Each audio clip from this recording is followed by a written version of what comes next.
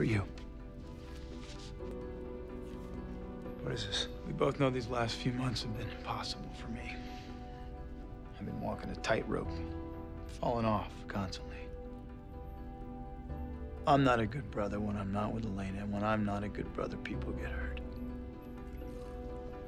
So he's gonna run away? Nope. I'm gonna stay in one place, desiccated right next to her. Yeah. I saved your life time and time again. I chose you. I sacrificed everyone and everything for you. He's gonna turn your back on me now? We're vampires. It's temporary, Stefan. I'll see you again.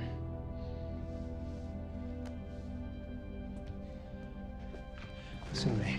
If there's even a fraction of you that cares about me, your brother, your family, and you will not walk out that door.